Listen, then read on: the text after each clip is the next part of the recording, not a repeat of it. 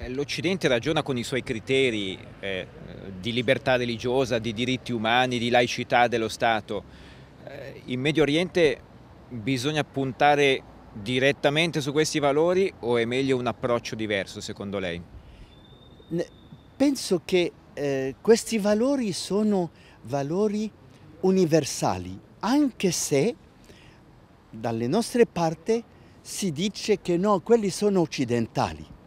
Allora noi abbiamo deciso, ed è stato detto chiaramente, che alcune espressioni non le usiamo in arabo.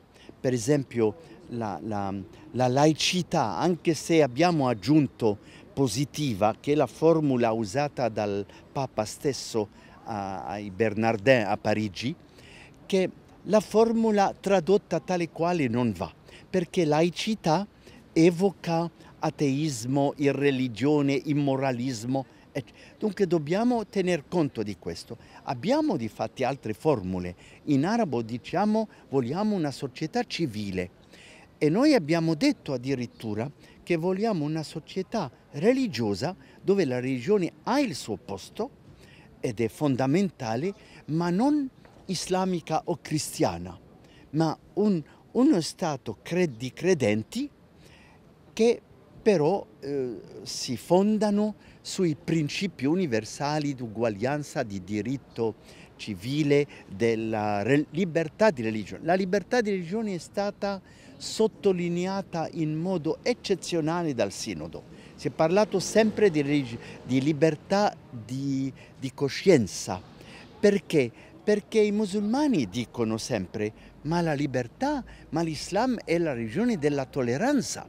Io dico è vero, ma noi non vogliamo essere tollerati, vogliamo essere presi com come cittadini nel pieno senso della parola e, e non essere tollerati, vogliamo eh, essere, avere la libertà di annunciare il Vangelo come voi avete il dovere, eh, secondo l'Islam, di annunciare l'Islam.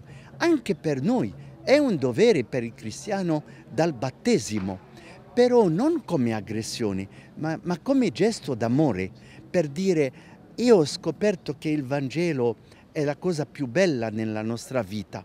Se vuoi anche ti, ti offro questa bellezza, anche tu mi presenti l'Islam della maniera più bella e, e così ci arricchiamo l'un l'altro a vicenda delle nostre esperienze spirituali. Cioè, anziché l'idea è, non è un confronto islamo-cristiano, ma è, insieme abbiamo degli oggettivi comuni che mm, mirano a, a, a Dio e così possiamo non solo convivere, ma aiutarci a vicenda. Una parola che è molto usata in Occidente è la reciprocità, ecco, di, si chiede, si pretende ai paesi islamici la, reci, reci, la, reciprocità come da noi è possibile pregare, costruire, eh? così anche da voi. Eh, ecco, questa parola però non l'ho letta molto nei documenti del Sinodo. La reciprocità è un concetto politico, cioè come faccio io, eh, non posso dire io ti permetto di avere una, una moschea, dove ti permetto? In Francia? In Svizzera, ma quello è un problema dello Stato svizzero, francese o italiano. Dunque la reciprocità non è tra Chiesa e, e, e il, eh, la comunità musulmana, la reciprocità è tra stati. Il problema è che nel mondo islamico lo Stato e la Umma si identificano e dunque eh, siamo, non c'è parità. Però la reciprocità per me significherebbe che un paese come la Svizzera eh, dice, bene, volete avere in Svizzera questa libertà eh, sotto tutti gli aspetti, allora io non, non accetto di ricevere i, i marocchini, per esempio, se da voi non c'è anche questa libertà, perché se no quelli devono applicare la reciprocità. Perché non lo fanno? Perché se ne fregano, per parlare chiaro, della religione e dei grandi principi, interessano gli interessi materiali. Eh, tutti sanno che in Arabia Saudita è il paese più oscurantista sotto quel riguardo, ma nessuno oserebbe anche fare un rimprovero perché Dio benedica i soldi dell'Arabia Saudita. È questo che deve cambiare.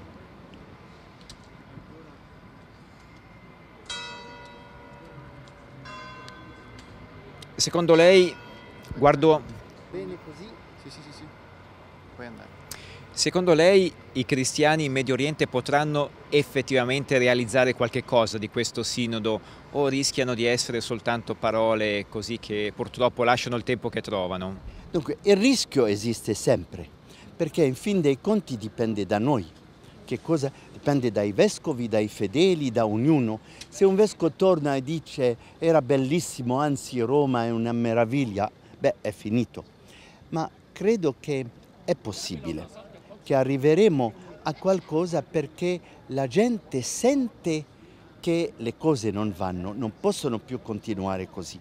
E tutto è partito, lo sa, dal problema dell'emigrazione eh, sempre più, più, forte e continua verso l'Occidente e dunque la, la sparizione lenta può prendere un secolo e più, ma rischia di sparire. Dunque si tratta per noi di coscientizzare di più il popolo che la questione non è solo privata.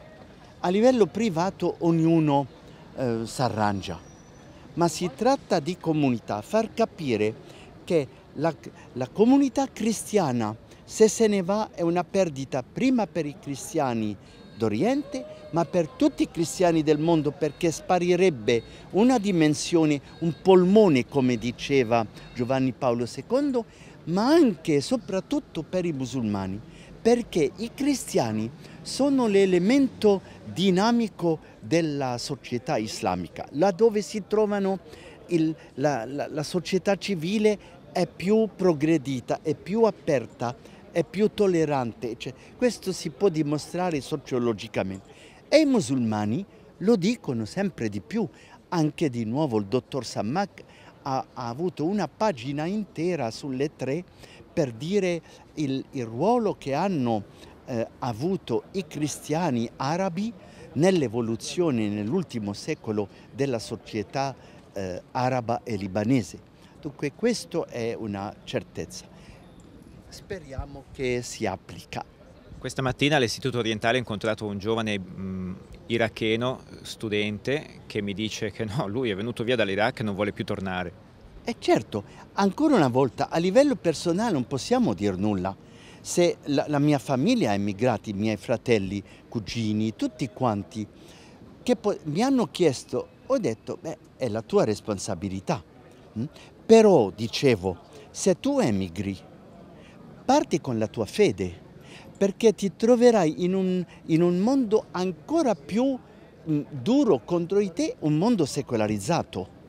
Chi viene in Svizzera rischia di perdere la fede molto più presto che se fosse rimasto in Egitto.